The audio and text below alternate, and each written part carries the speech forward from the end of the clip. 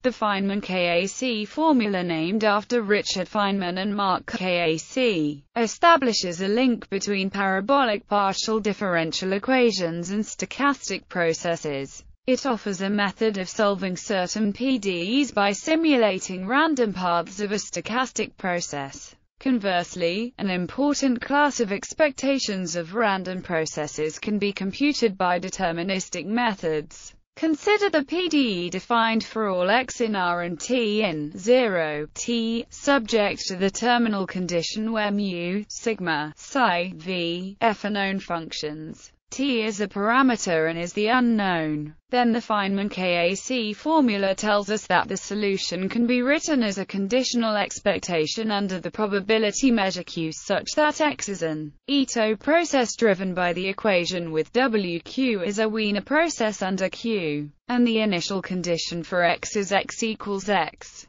Proof. Let U be the solution to above PDE. Applying Ito's lemma to the process one gets since the third term is and can be dropped. We also have that applying Ito's lemma once again too, it follows that the first term contains, in parentheses, the above PDE and is therefore zero. What remains is integrating this equation from t to t. One concludes that upon taking expectations, conditioned on xt equals x, and observing that the right side is an Ito integral, which has expectation zero. It follows that the desired result is obtained by observing that and finally remarks. The proof above is essentially that of with modifications to account for. The expectation formula above is also valid for n-dimensional Ito diffusions. The corresponding PDE for becomes where, i.e., gamma equals sigma sigma, where sigma denotes the transpose matrix of sigma. This expectation can then be approximated using Monte Carlo or quasi-Monte Carlo methods.